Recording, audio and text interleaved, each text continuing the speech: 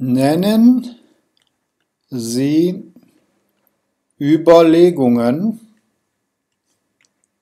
die bei der Datenerhebung für ein, Achtung, Personalinformationssystem, PIS, für ein PIS zu bedenken sind.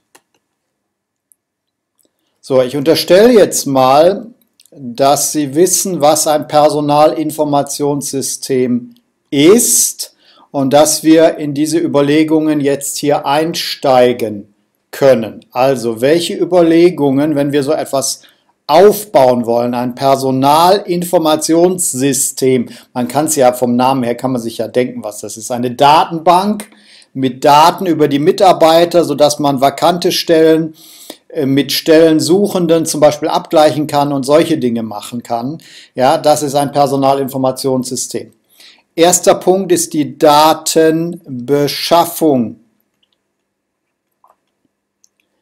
Wie beschaffen wir uns die Daten, mit denen wir dieses Personalinformationssystem füttern? Hier müssen wir also überlegen, machen wir eine direkte Erhebung, machen wir eine indirekte Erhebung, ähm, werden wir einfach die Daten, die wir in den Personalakten haben, dort erfassen und so weiter. Der zweite Punkt, und der ist besonders wichtig, ist die Datenauswahl. Das ist die Frage, welche Daten kommen dort rein?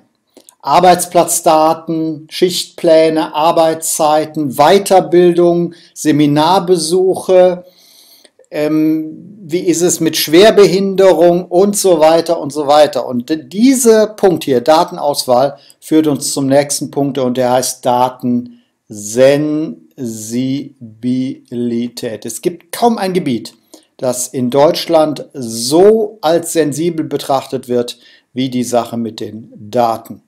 Ja, Datensensibilität. Wir müssen natürlich auch hier immer, ich schreibe es mal in Klammer dazu, das Bundesdatenschutzgesetz beachten. Ja, vor allem hier bei dem Punkt Datensensibilität und dann natürlich Einbeziehung des Betriebsrats mit Hilfe des Betriebsrats und in Zusammenarbeit mit dem Betriebsrat kann man zum Beispiel einen sogenannten Positiv- und einen Negativkatalog formulieren, also Daten, die man erfassen sollte und Daten, das wäre der Positivkatalog, und Daten, die man nicht erfassen sollte.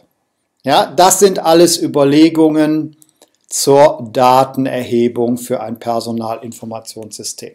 Wollen Sie lernen ohne zu leiden, dann klicken Sie auf den Link unter diesem Video. Dieser Link führt Sie direkt zu meinem Schnelllernsystem. Mein Name ist Marius Ebert. Vielen Dank.